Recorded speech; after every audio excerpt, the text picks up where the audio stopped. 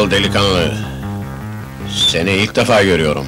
Bu mahalleye yabancısın galiba. Sen ne diyorsun be? Ben diyorum ki anamıza, bacımıza, avradımıza hiçbir zaman dil uzattırmayız. Uzatırsam ne olur?